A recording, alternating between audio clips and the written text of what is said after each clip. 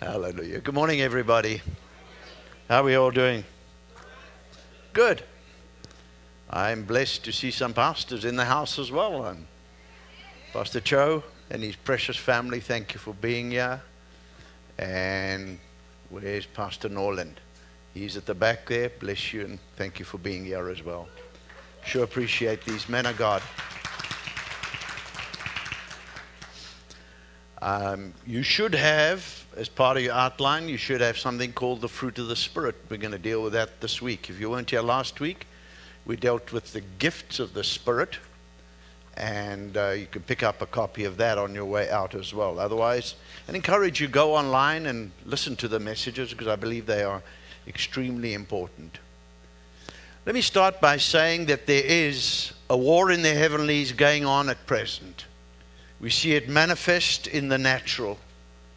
And uh, maybe I'm wrong, but I, I don't think there's ever been a time such as this in our nation and, in fact, the world.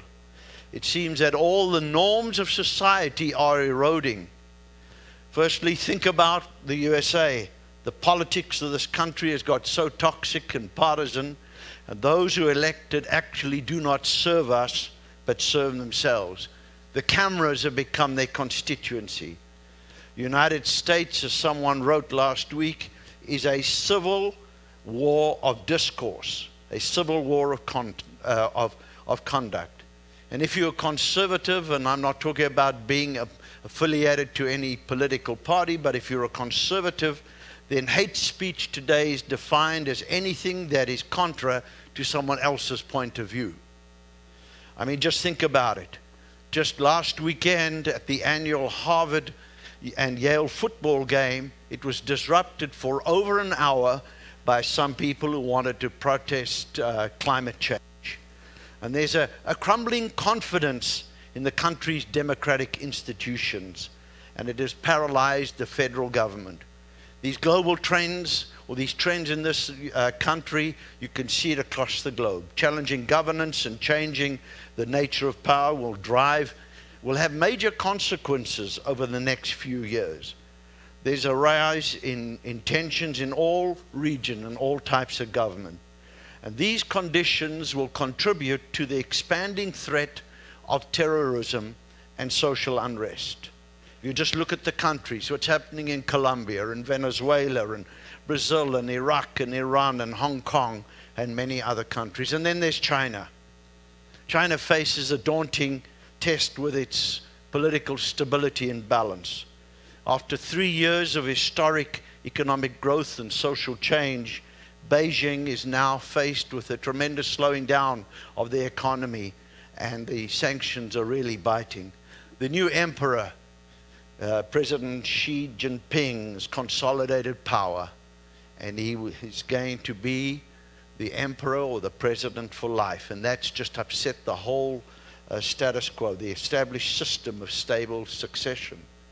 There's a restless population in China, just not the Uyghurs and what's going on in Hong Kong, but the rural peasants as well. They say that there's over 180,000 uh, rural or local riots every single year in China. The only thing that it hasn't become a national event these riots is because they are localized based on things that are happening in the local communities. And uh, Xi Jinping is using this internal strife to try and unite the nation by pointing to an external enemy. That's the United States of America. The Chinese uh, authorities are now employing AI, artificial intelligence, to control populations and the International Consortium of Investigative Journalists reported on the 25th of November that leaked documents reveal that Chinese police, and I quote, are guided by a massive data collection and data analysis that uses artificial intelligence to select entire categories of residents for detention. If you think about it, uh, they now have facial recognition in China, and within eight minutes, eight minutes, they can find anybody in that country. Population of 1.6 billion. And China's leadership believe that AI uh, is in the forefront for the global war that might come and also for economic protection. And that's a direct quote from intelligence sources. I illustrate all of this to just say that the, the world is in turmoil. And never before, never before in the history of the world do we need Jesus like we need now. Amen? And but we as the people of God need to be aware of what's going on in the world. We can't bury our heads in the sand. And then we look. We look at the church in the West today. It's in crisis. It's in free fall, including the United States. And then what has happened is that the power of the church has moved from the global north to the global south, from the global west to the global east. In the USA, the number of nones, those N O N E S, those who claim no religious affiliation, is growing in unprecedented numbers. The center of Christianity, as I said, has, gone, has shifted from the north to the south and from the west to the east. Today, the Christian community in Latin America and Africa accounts for over 1 billion people. And then they are experiencing unprecedented growth in the south and the east. The global religious uh, wild card is China. Even today, demographers estimate that more Christian uh, believers are found worshiping in China on any given Sunday than the United States. Upward of 225 million people are worshiping in small groups now because the church is being persecuted in, in China. And so, what accounts for this? I believe it is one thing, it's one thing alone that you and I have been talking about. It is the Holy Spirit. They've embraced the power and the move of the Holy Spirit, which the church in the West has opted out.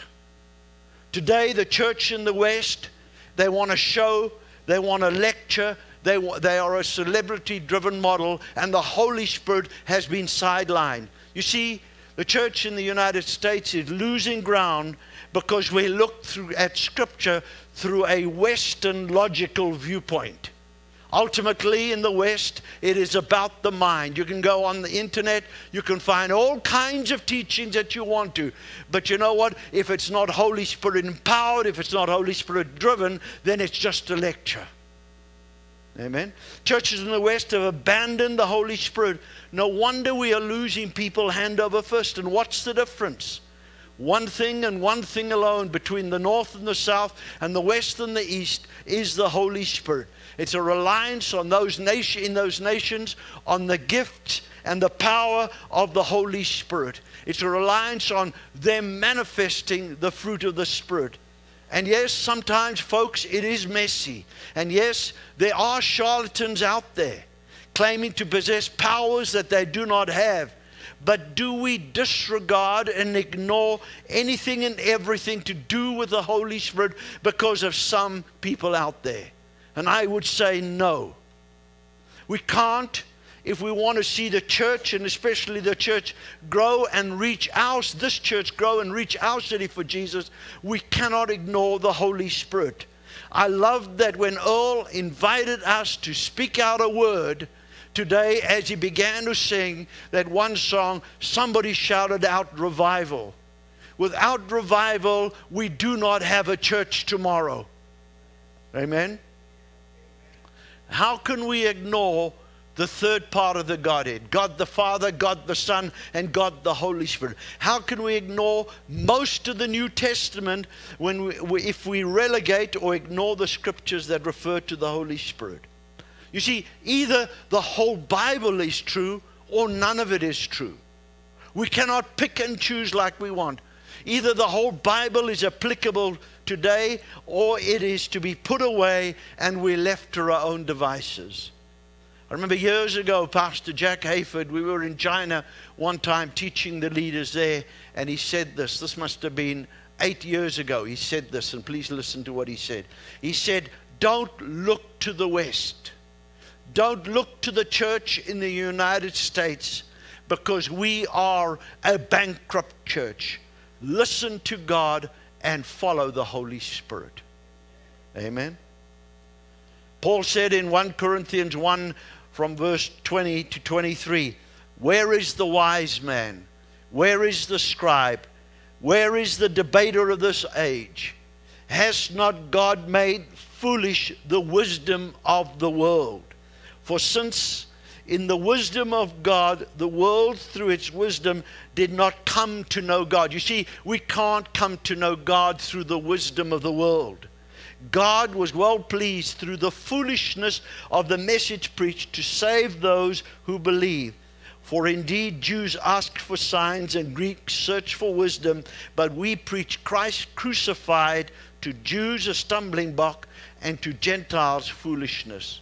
And then in 1 Corinthians chapter 2 verse 13 and 14 it says and this is what we speak not in words taught by human wisdom, but in words taught by the Spirit, expressing spiritual truths by the in spiritual words. The natural man does not accept the things of the Spirit of God, for they are folly to him, and he is not able to understand them because they are spiritually discerned. Without the Spirit of God, we cannot understand the words of God. You see, it has got to be understood by the Spirit of man. In 1 Corinthians 2 and 11, for what man knows the things of a man except the Spirit of the man which is in him? Even so, no one knows the things of God except the Spirit of God. And where does the Spirit of God reside? Spirit of God resides in you and me today. Amen.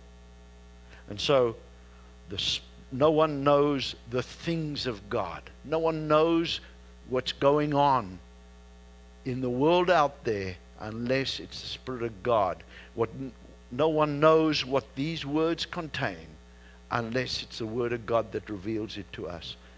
Job 32 and 8. But there is a spirit in man, and the breath of the Almighty gives him understanding. So we have to get back, folks to ministering about and on the Holy Spirit.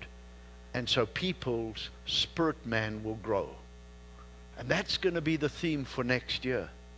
How we grow the spirit man. We've grown the intellectual man, but we need to grow the spirit man. We need to come alive to God. I felt God was directing me to say that to you this morning because I've been praying about what we're going to be doing. We had a theme, People, Place, and Power last year. But this coming year, it's going to be about the spirit man, us growing the spirit man inside of us, us becoming alive to what God has in store for us because I believe revival is coming to this church. Amen. Romans 8:14 for as many are led by the spirit of God they are the sons of God. Feeding your spirit man, enabling your faith and anointing lift you to a place where God can use you to touch the world in which we live. And so that's the backdrop of the message. And I've only got 20 minutes left. Oh my gosh. so let me ask you this What if Christ came to Seattle? What would he do? What would he say? Would he even be listened to? Next question is Does Jesus live in Bellevue Church? And those are questions that are backdoor to the scripture this morning out of Galatians chapter 5. And these verses are foundational to our Christian lives. Chapter 5 and verse 16, we'll read all the way down to, to verse 25. It begins and ends with a commandment to walk in the Spirit. Isn't it interesting that he begins this whole section and he says in verse 16 and he says in verse 25, walk in the Spirit. And he says, I say, walk in the Spirit, verse 16, and you will not carry out the desires of the flesh. For the flesh sets its desires against the Spirit, and the Spirit against the flesh. For these are in opposition to one another, so that you may not do the things that you please. But if, notice the word, but if, you are led by the Spirit, you are not under the law. Now the deeds of the flesh are evident, which are immorality impurity, sensuality, idolatry, sorcery, enmities or hatred, strife, jealousy, outbursts of anger, disputes, dissensions, factions, envy, and drunkenness, carousing, and such things of which I forewarn you, just as I have forewarned you, that those who practice such things will not inherit the kingdom of God. But the fruit of the Spirit is love, joy, peace, patience, kindness, goodness, faithfulness, gentleness, self control. Against such things there is no law. For those who belong to Christ Jesus have crucified the flesh with its passions and desires. For if we, and here's the second bracket, for if we live by, by the Spirit, let us also walk by the Spirit.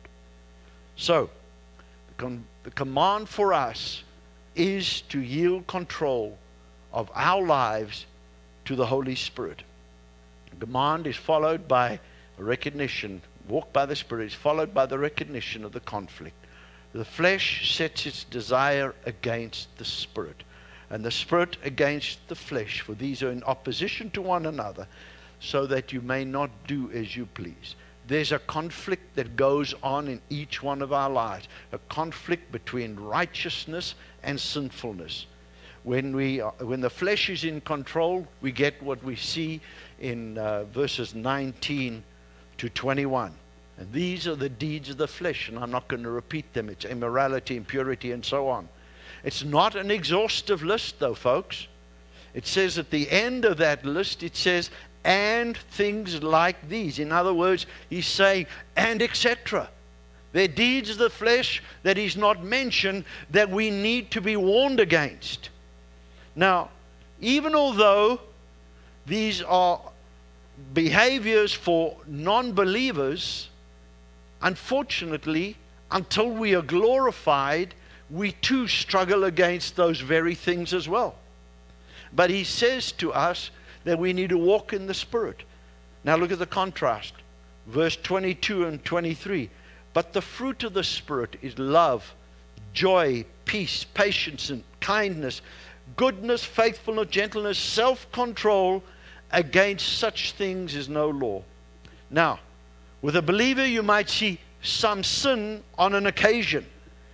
But as you draw closer to God, as you draw closer to Christ, as you allow the Spirit of God to take over your life, as you commit yourself every single day on your knees before you, just as you get out of bed, as you commit your life to Christ each day and say, Lord, I want to walk by, your, by the Spirit of God that's living inside of me, less and less of those things of the flesh will overtake you. Now, of course, the Bible also says that if any man says that he doesn't sin, he's a liar. But that the process of sanctification is a decreasing frequency of the list in verses 19 to 21 and an increasing frequency of the list in 22 uh, and 23. The term sanctification is used in the, that is used in the New Testament is hagios, which basically means set apart. So listen to me, folks. Listen to me this morning. You are set apart. When you accepted Jesus Christ as your Lord and Savior, the Holy Spirit came and renewed your spirit. And you have been set apart to live a different kind of a life. Is it easy? No. Are you going to be challenged? Yes. Are you going to be tempted? Absolutely.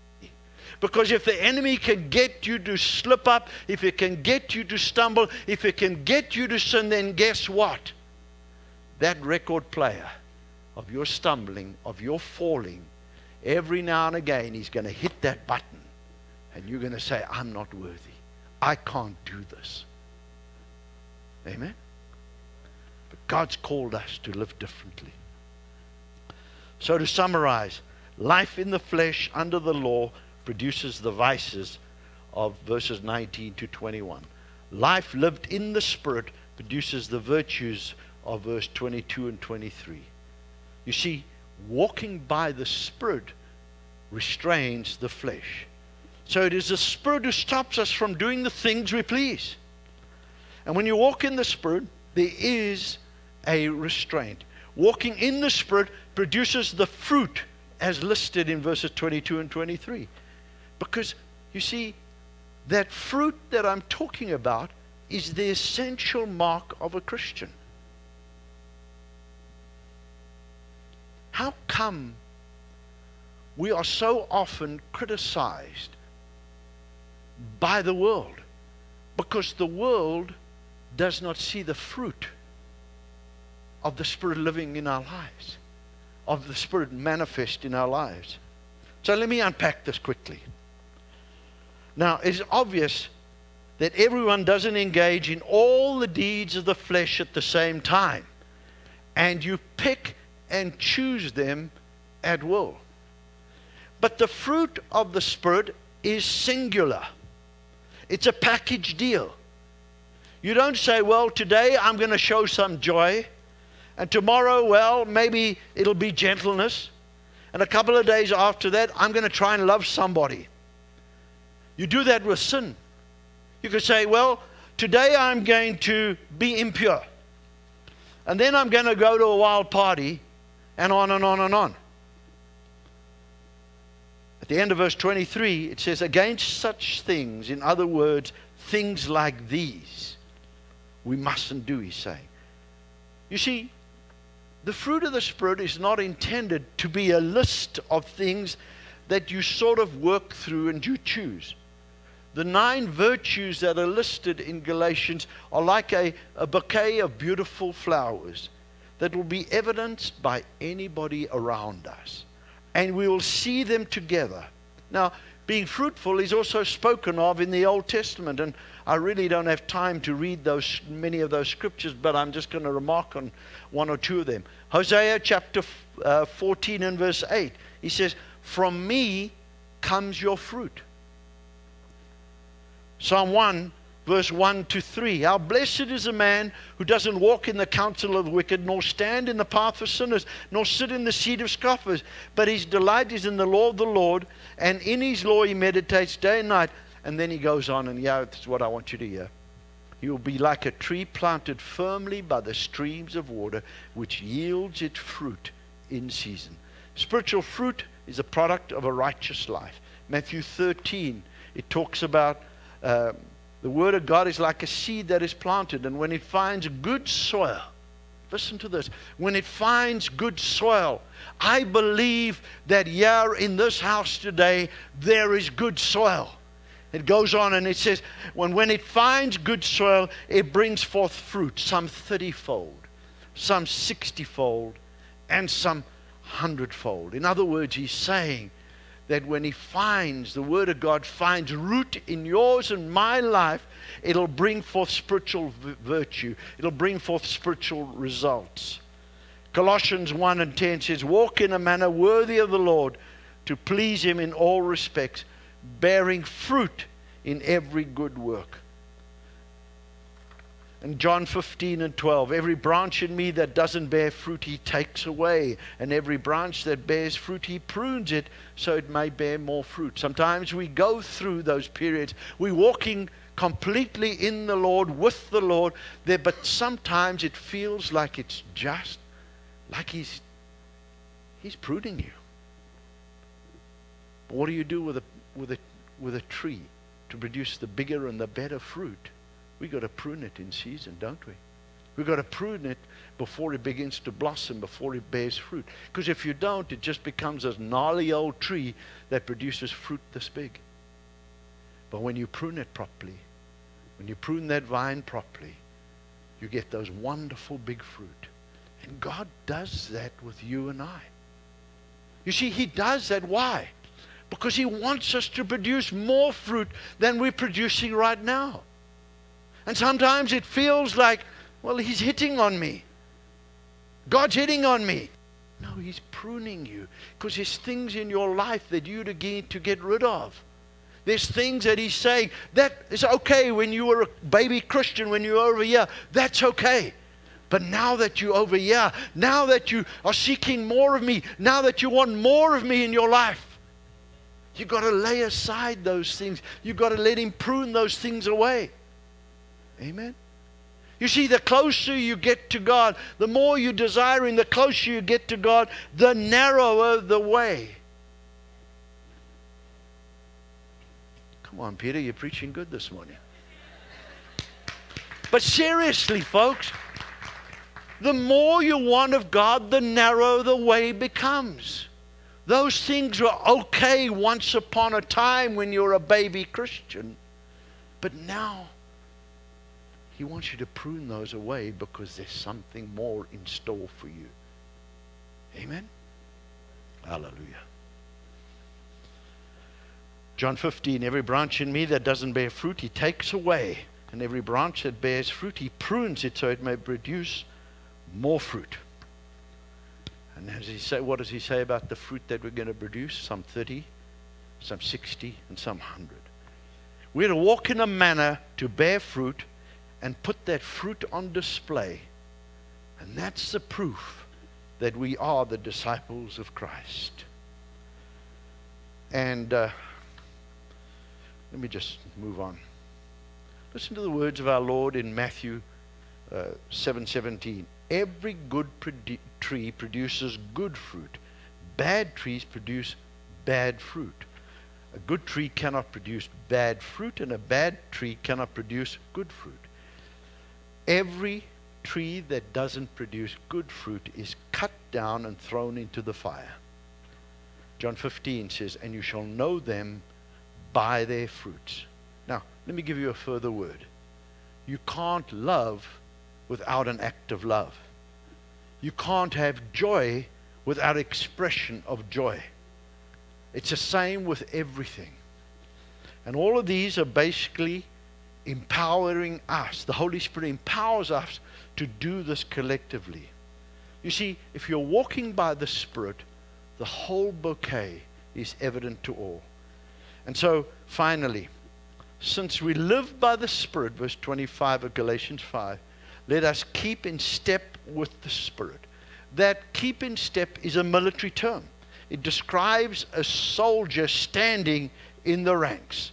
To his left, to his right, in his front, and to the back are hosts of other soldiers. And when the commanding officer says, Move out, they move out in step. And that's a wonderful image of the Christian life.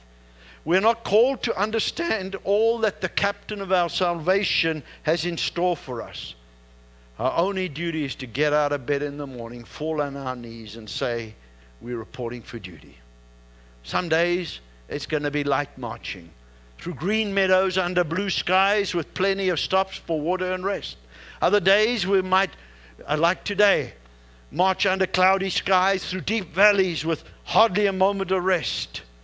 And then sometimes we'll be called to come to venture out into the darkness where we must trust the Lord to bring us safely home again. Day by day, step by step, we're always listening and watching and looking to see where the Lord is leading us. One day, speaking to a man, he said this. He says, That man over there has been in the army. And I said, How do you know? He said, Well, I know the soldier by his walk. See, the world needs to know us as soldiers by our walk. And then keep your hearts right for one another. Let us not become conceited, provoking, and envying each other. Galatians 5, verse 26. We cannot fall into a comparison game, folks. You know, if God's using somebody today to minister to someone else, we must never be critical. We must never point a finger at them. Amen. And as we come to the end of the message, I, I'm struck with this, this fact that the Spirit, the fruit of the Spirit, is available to all of us. And you and I, we sometimes will have to make that choice a hundred times a day. You're sitting at the office and there's somebody who comes in there and this person is like, he's just under your skin. He's there. And every time he comes near you, it kind of, there's this thing in you that just twists. You have a choice. You have a choice to display the fruit of the Spirit, or you can allow those, those sins that they talk about in 19 onwards to get to you. You see, you're the only Bible some people will ever read. You're the only Jesus that some people will ever know. And so, does Jesus live where you live? The truth of the answer is it depends on you. I'm going to read you a story from uh, Tony Campolo. I love this story. He was walking down a busy Philadelphia street at noontime and saw what he referred to as a bum coming down the street. This bum had a huge beard with rotted food in it. And though it was August, he was wearing a long overcoat and mumbling to himself, drinking, drinking a cup of McDonald's coffee. Suddenly, this dirty, smelly bum stopped Tony and said, Hey, mister, don't you want some of my coffee? And Tony Campolo said, That's very kind, but no, thank you. And he started on his way. Suddenly, the Holy Spirit moved him and he went back and says, Yes, I will have some of your coffee. He took a sip and he said, You're being awfully generous this morning with your coffee. And the man said, Well, the coffee was especially good this morning, and when God gives you something good, you ought to share it. Campolo said, Well, is there anything I could give you? And he figured that this guy was going to hit him up for, for five bucks or so. And he said, And the man said, No. He said, You can give me a hug. Campolo said he was hoping for the five dollars rather. and he reached over and hugged this bum who held on to him for what seemed forever. And Campolo said, As I stood there on that busy Philadelphia street, hugging this bum, I heard a voice coming down the corridors of time saying, Inasmuch as you've done to one of these, you've done this to me. And suddenly I realized I was not holding a bum in my arms, but I was holding Jesus. And I have a little photograph that we can put up there.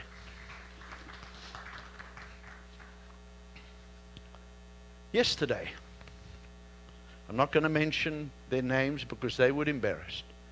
But yesterday, a young mother and a two year old, two and a half year old son packed up about over 30 uh, packages like us, and the little boy drew drawings on each one of those packages. And then they went on downtown. And in those packages were sandwiches and gloves and uh, socks and stuff like that. And they went downtown, just the two of them and the little guy, and they went and gave out each one of those packages. And she told me, she said, not every one of those that they gave a package to was kind. But over 90% of them smiled when this little boy came up and gave this package.